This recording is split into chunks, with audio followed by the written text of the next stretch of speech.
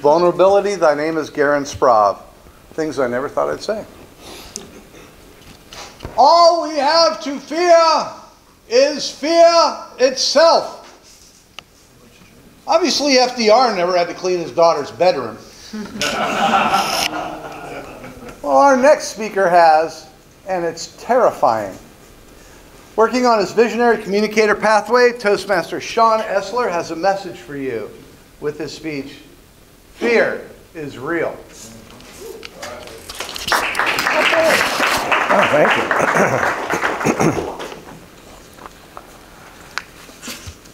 All right, sure. Some fears are completely baseless, right?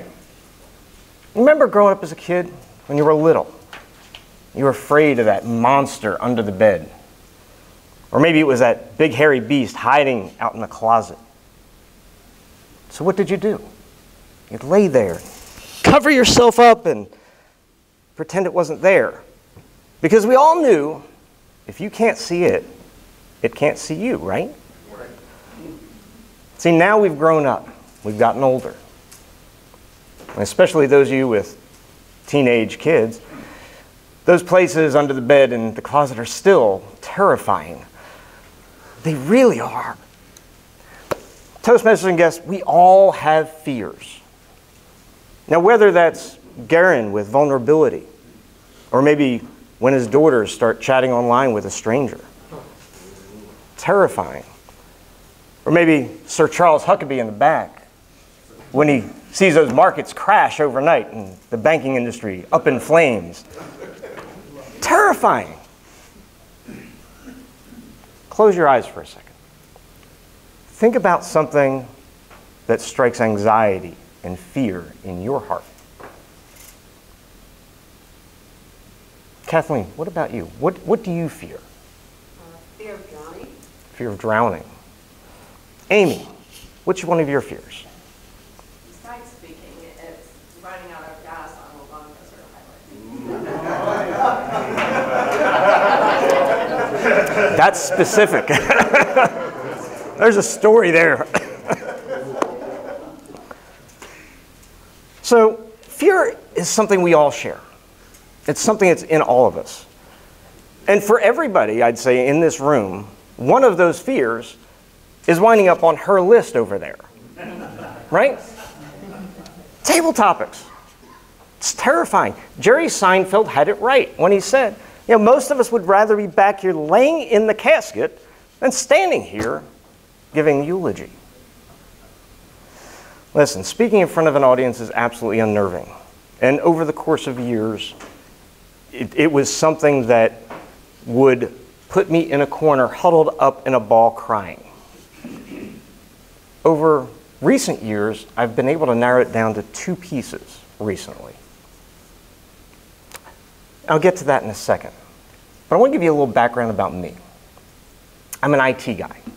I fix computers, like this guy, or like Tim Taylor in the back. I work with small businesses.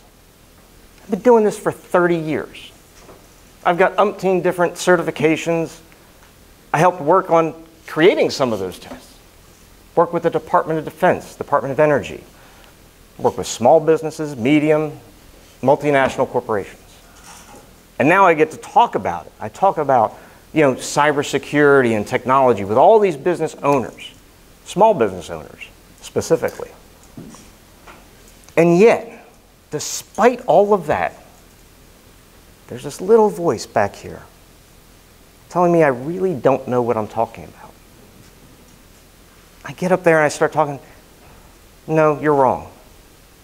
Or that fear that somebody out there in the audience knows more than me. And they're going to stand up and call me out in front of everybody. It's imposter syndrome. Anybody else have that when they speak? Yeah. All the time. Could be here, could be anywhere, but you get up there and no matter what you do, it's, it's there, it's scratching at the back of your head. You're a fraud. But there's another piece to that.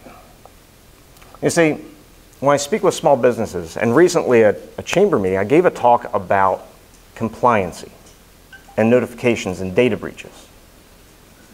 we went through what would happen if you violated HIPAA, which I'm sure everybody's heard of. You know, medical information, personal information, PCI, COPPA if you have any information on children. Or maybe it's Sarbanes-Oxley, Graham-Lay if you're in the financial industry.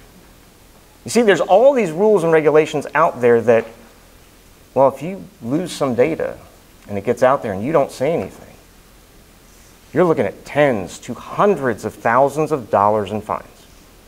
And no matter how much I talk about it, sometimes, you know, I get this, you know, that deer in headlights stare.